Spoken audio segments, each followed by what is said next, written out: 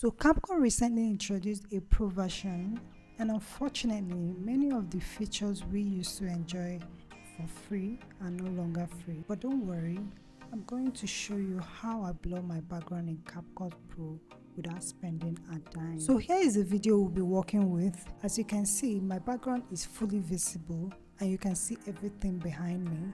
But I want to blur out the background to keep the focus on me. Blurring the background can also give your video a professional and cinematic look. So first open CapCut, import your video, make sure your video is ready to go as the blur effect will be one of the final touches. So when you're done, export the video. So once you're done, go back to the same video and then follow through with the steps. Go straight to the effect tab at the bottom of the screen. Now click on video effects Scroll through the effects and look for blur or simply just use the search button, type in blur, click on it to apply it to the video.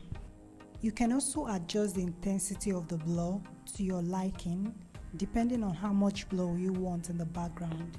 So I'm gonna leave mine at 46. Yeah, I left mine at 46. Now click on the effect and make sure to extend it to the rest of the video. Now once you're done, export your video. Now we're going to use this blur video as our background in the next step. That's why I said to make sure you've edited your video as this should be the last step. In a new project, import the blur video we exported earlier. Then on the menu down below, click on overlay and also import the original video. With two fingers, adjust to fit the screen. Now select the overlay video or the original video. Go to remove background option. Now scroll down to remove BG. That is remove background. I'm sure you see the auto remover. Then click on it. Allow it to load up. Now once it's done, you'll see background removed now here is the results you can see the blur effect in the background. So now the focus is all on me without any distractions from what's behind. Now guys if you've made it this far please support me by hitting the like button. Come on guys please. It really helps. Now when i tried exporting you can see it's asking me to upgrade to pro. But here's where the magic happens all you need to do is swipe up your phone and start recording the entire video.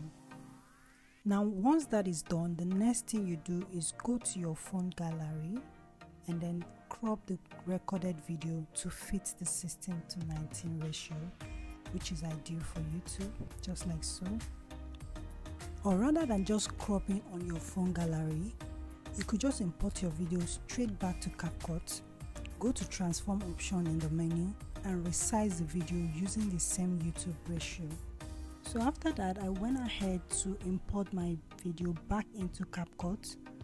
I trimmed out any unwanted parts, touched up the video as needed, and then finally I sharpened the video for a cleaner look. Now you can also use this method for any other pro feature on CapCut.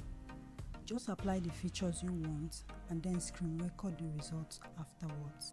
Now finally make sure to increase the resolution to 1080p for better video quality and then export your video. If you found this video helpful, please give it a thumbs up and subscribe to my channel if you haven't.